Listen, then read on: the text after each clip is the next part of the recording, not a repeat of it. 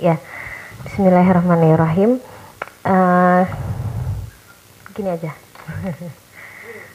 Gambarnya sangat mungkin kurang jelas gitu ya, seadanya sebisa yang bisa digambar. Uh, tapi semoga penyampaiannya bisa menyampaikan isi gambar.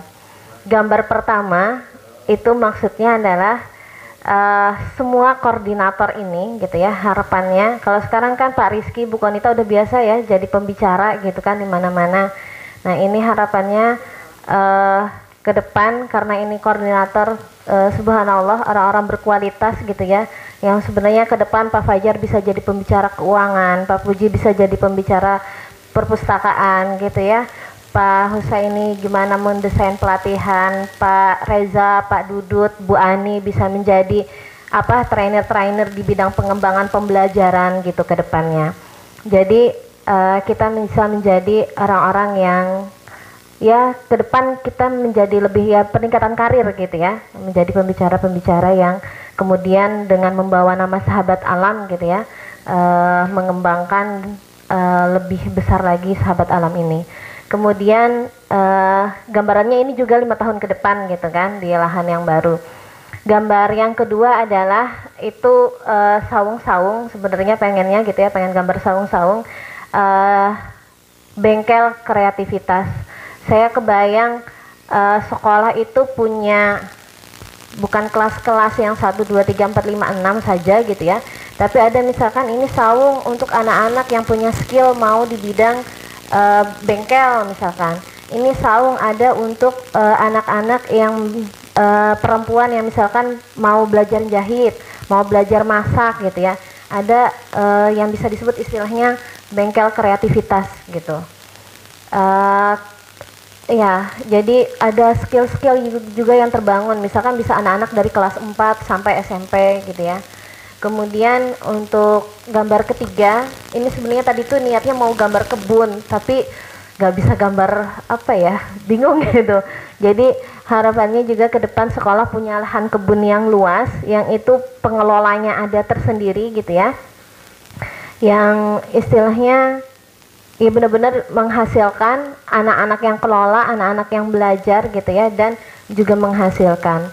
Kemudian gambar keempat itu baru tergambarnya gor tuh sebenarnya ada pengen ada di dalam gor lapangan basket, lapangan bola bapak bulu tangkis gitu ya, tenis gitu. Uh, untuk memenuhi juga kebutuhan anak-anak kita dengan berbagai macam olahraga dan outbound gitu ya. Uh, sebenarnya mau gambar outbound juga. Kemudian gambar kelima ini bangunan besar gitu ya.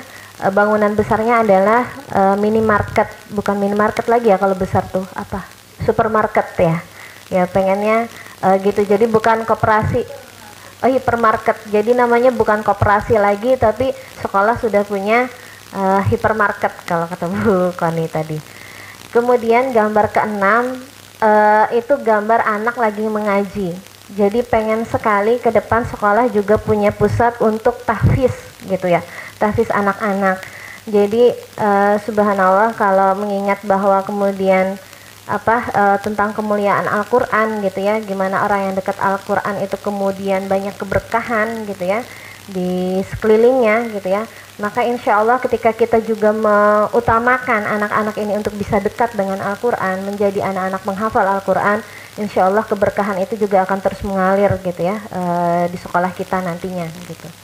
Kemudian uh, gambar ketujuh itu 7 dan 8 ini goal yang saya inginkan di akhir juga gitu ya.